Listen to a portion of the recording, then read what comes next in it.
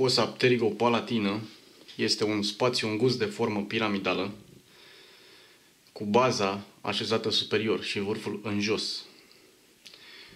Fosa pterigopalatină conține trei elemente principale, precum nerv maxilar, ganglion pterigopalatin și partea a treia sau ultima parte a arterei maxilare. Ganglionul pterigopalatin îi se mai spune și ganglion Meckel. Vom indica schematic elementele care participă la delimitarea fosei pterigopalatine de formă piramidală.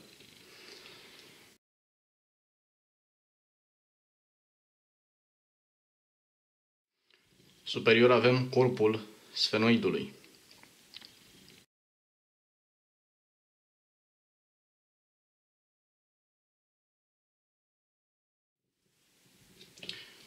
Anterior avem suprafața posterioară a maxilei.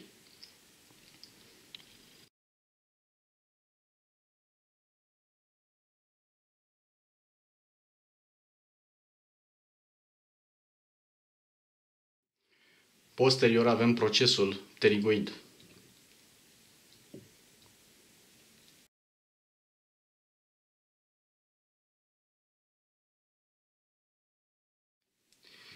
Inferior observăm procesul piramidal al palatinului, canalul palatin mare și canalele palatine mici.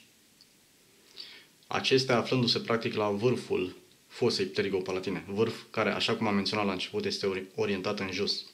Și se observă deja forma piramidală. Aici, având în vedere că am desenat o structură mai mult bidimensională, se observă forma triunghiulară, cu vârful în jos și baza în sus. Așa cum am menționat, corpul sfenoidului delimitează fosa pterigopalatină superior. Deci peretele superior al fosei este dat de fața inferioară a corpului, a corpului sfenoidului. Peretele posterior este dat de procesul pterigoid, peretele anterior de suprafața posterioară a maxilei. Peretele medial este dat de lama perpendiculară a osului palatin, care superior prezintă o incizură denumită incizura sfenopalatină, care prin articulație cu corpul sfenoidului delimitează un orificiu, și anume gaura sfenopalatină. Deci aici avem incizura sfenopalatină dată de, sau mai bine zis, prezentă în partea superioară a lamei perpendiculare a palatinului, care constituie peretele medial al fosei, care prin articulare cu corpul sfenoidului, cu corpul sfenoidului formează gaura sfenopalatină. Și mai avem peretele lateral. Peretele lateral al fosei pterigopalatine este absent, el este dat de fisura pterigomaxilară. Prin fisura pterigomaxilară, fosa pterigopalatină comunică cu fosa infratemporală. Așadar, fosa infratemporală fiind așezată lateral față de fosa pterigopalatină. Se observă că am delimitat, sau mai bine zis, am indicat niște comunicări, niște orificii sau canale prin care fosa pterigopalatină comunică cu elemente din uh, jurul acestea. Și anume, aici la nivelul orbitei am indicat în partea anterosuperioară a fosei pterigopalatine am indicat fisura orbitală inferioară. Așadar, fosa pterigopalatină comunică cu, cu fisura orbitală, comunică cu orbita prin intermediul fisurii orbitale inferioare această comunicare fiind situată în partea anterosuperioară a fosei pterigopalatine. De asemenea, fosa pterigopalatină comunică cu cavitatea nazală prin gaura sfenopalatină, situată în partea superioară a peretului medial al acestea. Posterul superior avem o serie de comunicări. Și anume, în partea cea mai superioară avem gaura rotundă, Așadar, gaura rotundă în partea postero-superioară a fosei pterigopalatine. Urmează canalul pterigoidian sau canalul vidian. După cum știm, pătrunderea prin canalul pterigoidian se află situată în partea anterioară a găurii rupte, imediat sub lingula sfenoidală. Și mai avem o comunicare în partea postero-superioară a fosei pterigopalatine, un canalicul denumit canal palato-vaginal.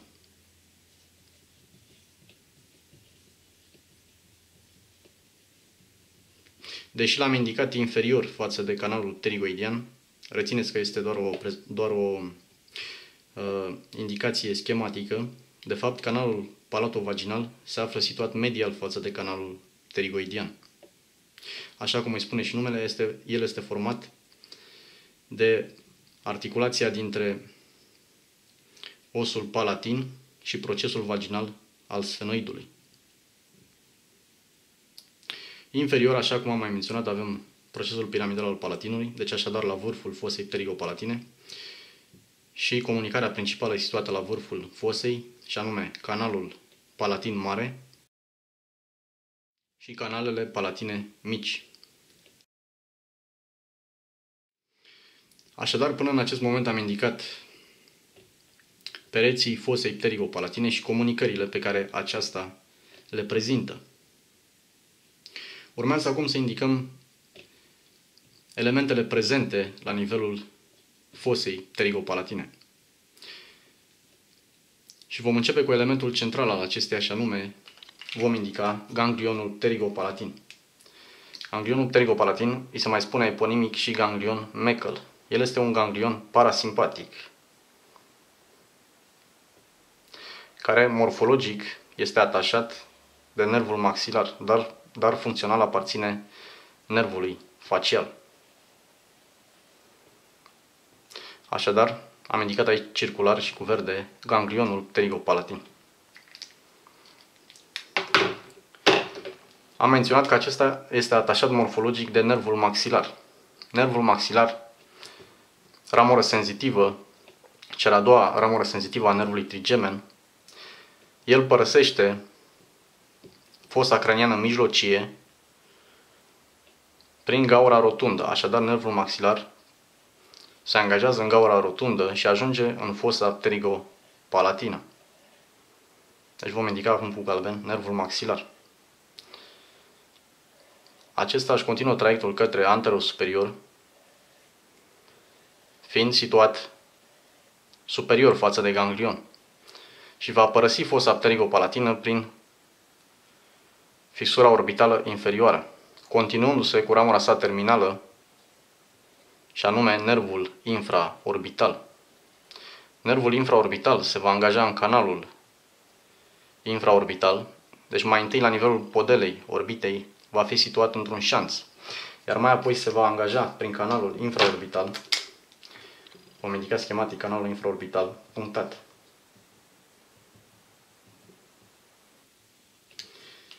Și va ajunge prin gaura infraorbitală în regiunea infraorbitală. Deci cea, ă, partea din nervul infraorbital care se află situat în canal o voi indica punctat. Și va ajunge în regiunea infraorbitală, ieșind prin gaura infraorbitală. Și se va împărți în ramurile sale. Ramuri nazale, labiale și palpebrale. Deci aici avem gaură infraorbitală, iar aici canal infraorbital.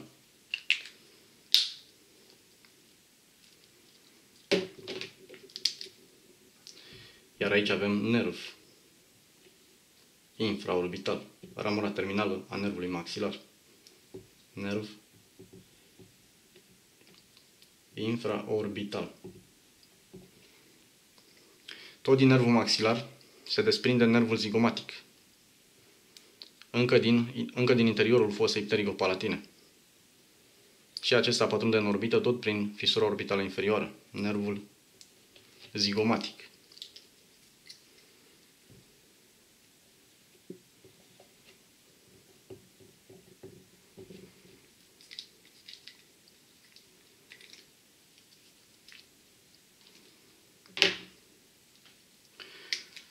Nervul maxilar este atașat morfologic de ganglionul pterigopalatin. De obicei, prin două ramuri. Aceste comunicante cu ganglionul pterigopalatin mai poartă numele și de nervi pterigopalatini. Vom mai indica de asemenea fisura orbitală superioară.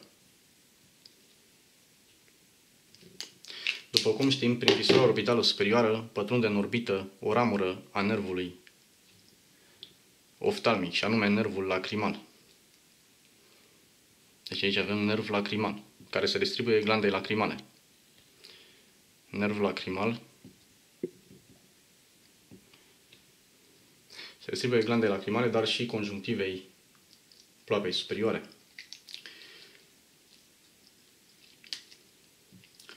În continuare vom mai indica nervul palatin mare, care se desprinde din ganglion. El fiind o ramură indirectă a nervului maxilar. Deci fibrele senzitive care vor lua calea acestui nerv vor părăsi nervul maxilar, vor ajunge la ganglion, vor trece prin acesta fără să sinapseze, iar mai apoi vor lua calea nervului palatin mare, care bineînțeles va pătrunde prin gaura sau mai bine prin canalul palatin mare. Și va ajunge să inerveze mucoasa din dreptul palatului dur. Și se va îndrepta către anterior, într-un șanț de la nivelul palatului dur, îndreptându-se către gaura incisivă. Deci aici avem nerv palatin mare.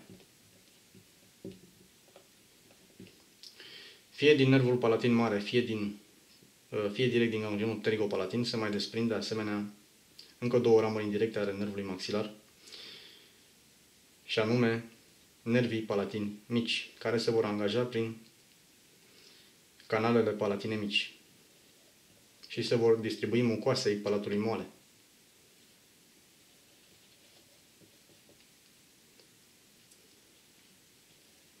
Și aici avem nervi palatini mici.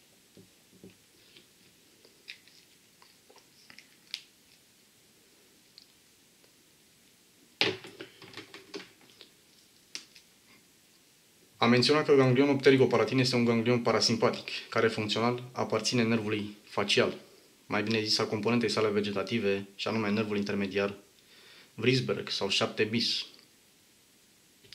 La nivelul său se află neuroni postganglionari.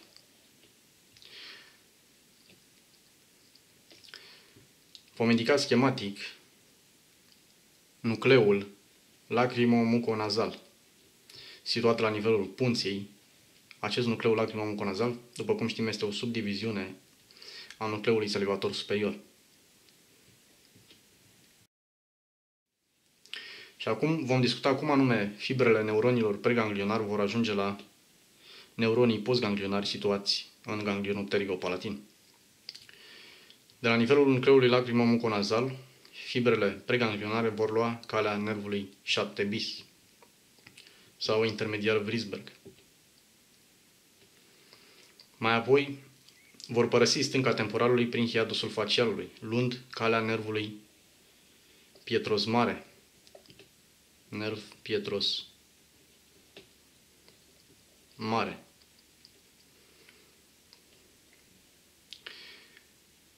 Iar mai apoi, în dreptul găurii rupte, pe care o putem indica schematic, deci vom indica schematic gaura ruptă la acest nivel,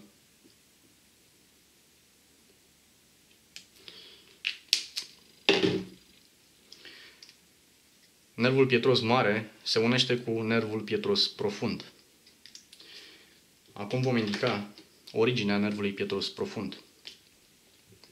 Mai întâi vom indica un segment din artera carotidă internă. După cum știm, în jurul arterei carotide interne se află un plex nervos simpatic, și anume plexul simpatic pericarotidian, pe care îl voi indica folosind culoarea verde mai deschis. Deci plex simpatic pericarotidian. Din plexul simpatic pericarotidian se desprinde nervul pietros profund, care în dreptul găurii rupte, în apropierea uh, pătrunderii prin canalul pterigoidian, se unește cu nervul pietros mare și formează un singur nerv, simpatico-parasimpatic. Acest nerv este denumit nervul canalului pterigoidian și se va termina în ganglionul pterigopalatin.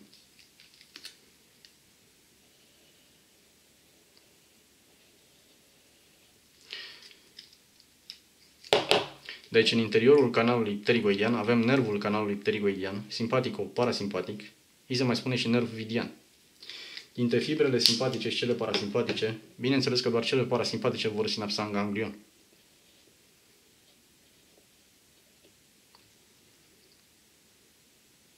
Așadar, până acum am văzut cum fibrele perganglionare ajung la ganglionul uh, pterigopalatin, fibrele parasimpatice. Mai departe, după ce sinapsează, fibrele postganglionare vor lua calea comunicantelor cu nervul maxilar, vor ajunge în nervul maxilar, iar mai apoi vor lua calea nervului zigomatic.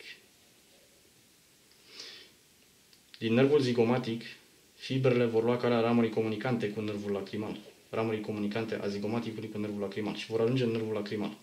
Și în felul acesta, fibrele parasimpatice postganglionare, plecate, la, plecate de la nivelul neuronilor ganglionului pterigopalatin, vor ajunge să inerveze secretor glanda lacrimală.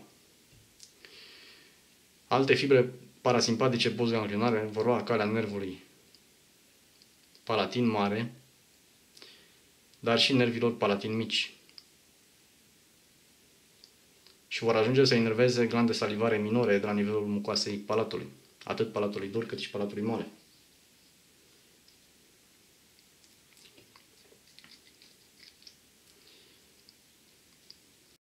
Mai avem canalul palato-vaginal. Din ganglionul pterigopalatin se desprinde nervul faringian, denumit eponimic BOC, nerv faringian BOC.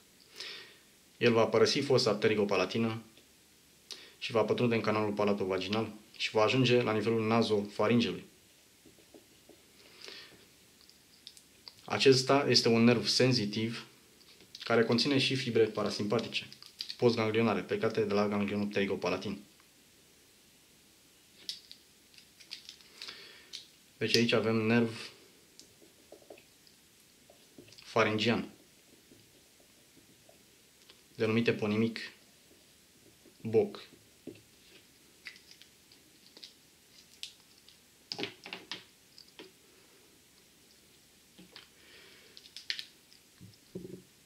De asemenea, din ganglionul pterigopalatin mai pleacă și ramuri orbitale, câteva ramuri orbitale care vor ajunge la nivelul orbitei prin fisura orbitală inferioară. Aceste ramuri orbitale conțin fibre simpatice cele care vor trece prin ganglionul pterigopalatin fără să sinapseze și se vor distribui mușchiului orbital. De asemenea, ramurile orbitale mai conțin și fibre senzitive pentru periostul orbitei, pentru celule etmoidale posterioare, uh, deci pentru mucoasă de la nivelul celulelor etmoidale posterioare sau pentru mucoasă de la nivelul sinusului sfenoidal. Mai avem o serie de ramuri plecate din ganglionul pterigopalatin.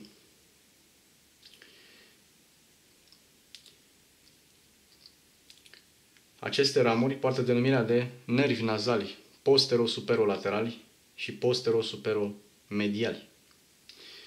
Ei vor părăsi fosa pterigopalatină, deci se vor desprinde din ganglion și vor, vor părăsi fosa prin gaura sfenopalatină. Și se vor distribui mucoasele la nivelul cavității nazale. Dintre acești nervi, mai exact din cei mediali, cei postero-supero-mediali. Se individualizează un nerv pe care îl voi indica cu portocaliu, deci pătrunde prin uh, gaura sfenopalatină și va ajunge la nivelul cavității nazale. Se, se individualizează un nerv denumit nerv nazopalatin. Acesta va coborâ pe septul nazal, îl voi indica punctat. Deci rețineți că nervul nazopalatin coboară pe septul nazal, îndreptându-se către gaura incisivă.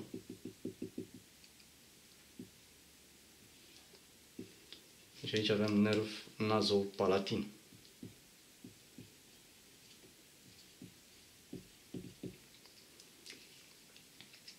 Și bineînțeles că nervul nazopalatin va inerva mucoasa la nivelul septului nazal.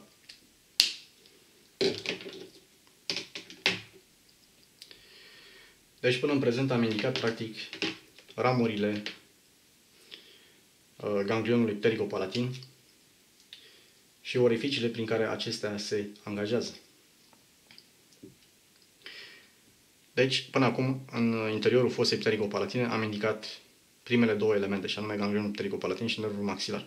Mai avem de indicat partea a treia sau ultima parte a arterei maxilare și ramurile sale de la acest nivel. Artera maxilară pătrunde dinspre lateral în fosa ptericopalatină. Ea se va angaja în fosa ptericopalatină prin fisura pterigomaxilară, care, așa cum am menționat, constituie uh, practic uh, peretele lateral al fosei ptericopalatine. Deci artera maxilară vine dinspre lateral, pătrunde în fosa pterigopalatină prin fisura pterigomaxilară și se află situată anterior față de ganglion, dar inferior față de nerv. Își voi indica schematic partea a treia a arterei maxilare. Se află situată anterior față de ganglion, dar inferior față de nervul maxilar. Deci partea a treia, arterie maxilare, sau ultima parte a acestea, care pătrunde în fosă dinspre lateral, prin fisura pterigomaxilară.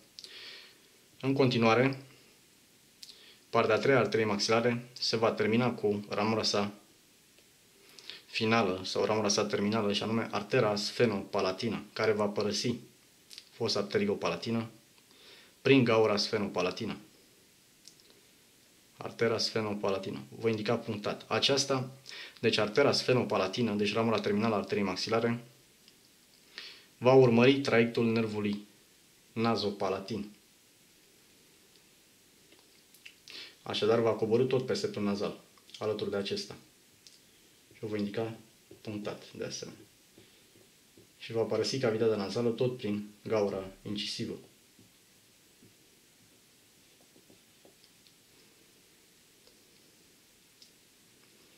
Deci arteră sfenopalatină.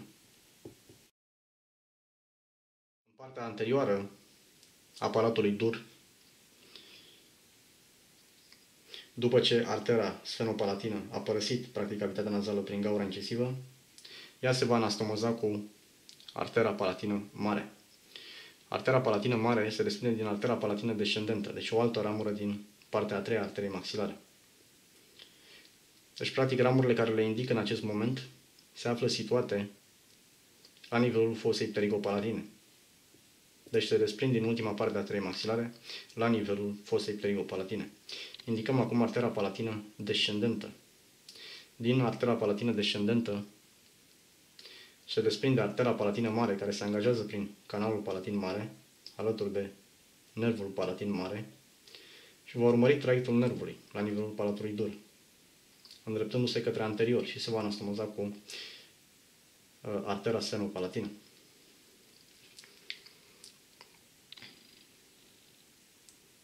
Deci avem aici arteră palatină mare.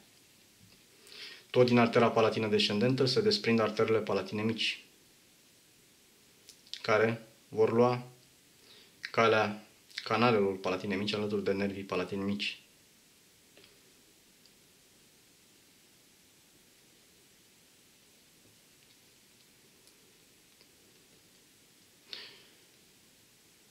Deci, practic, avem artere și nervi palatini mari, artere și nervi palatini mici. Iar aici avem arteră palatină descendentă. Una dintre ramurile porțiunii terminale a arterei maxilare.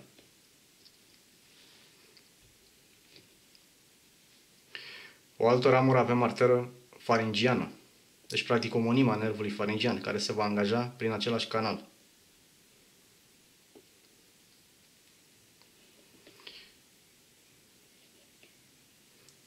Arteră faringiană. Mai avem de asemenea artera canalului pterigoidian, care va avea traiect recurent, pătrunzând în canalul pterigoidian sau canalul vidian, alături de nervul vidian, iar mai apoi va ajunge să se anastomozeze cu o ramură din artera carotidă internă. Deci aici avem artera canalului pterigoidian.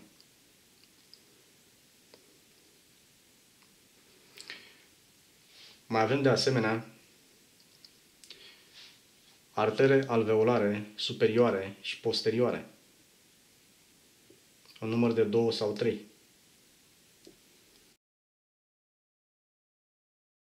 Acestea vor, vor pătrunde prin niște canalicule denumite foramine de la nivelul tuberozității maxilei și vor ajunge să vascularizeze uh, primii, uh, iertați-mă, vor ajunge să, să vascularizeze molarii și gingia din dreptul acestora, bineînțeles. O altă ramură importantă a ultimei părți a arterei maxilare este artera infraorbitală, care practic va urmări traiectul nervului infraorbital. Artera infraorbitală. Urmărește traiectul nervului infraorbital, deci pătrunde în orbită prin fisura orbitală inferioară. Se va angaja într-un șanț de la nivelul podelei orbitei, alături de nerv. Mai apoi va pătrunde prin canalul infraorbital. Și va părăsi canalul, ajungând în, în regiunea infraorbitală, ieșind practic prin aceeași gaură ca și nervul, adică prin uh, gaura infraorbitală, împărțindu-se în ramurile sale. Ramuri nazale, palpebrale și uh, labiale.